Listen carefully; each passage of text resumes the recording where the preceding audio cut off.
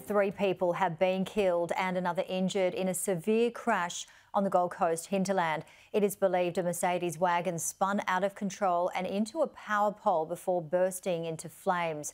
The mother of Brisbane Broncos star Payne Haas is in a stable condition at Gold Coast University Hospital, while the other three occupants died at the scene. Police have prompted road users to take it easy on the roads this summer. It's a right, not a privilege, to have a licence in Queensland. Um, there are certain laws. The laws are made simply to keep people safe. We want people to get to and from their destination safely. But it's frustrating that um, we continually see people flout the laws and see people die unnecessarily on our roads.